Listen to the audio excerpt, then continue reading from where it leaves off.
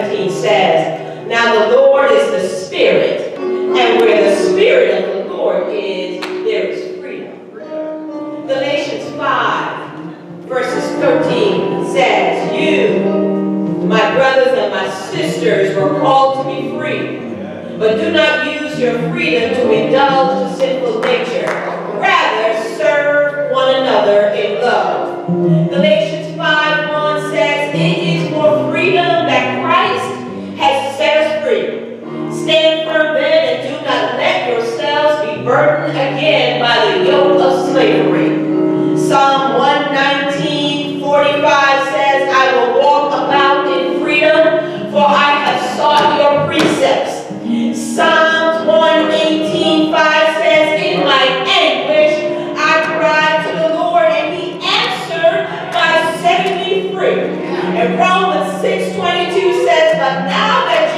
set free from sin and have become slaves to God, then the benefit you reap leads to holiness.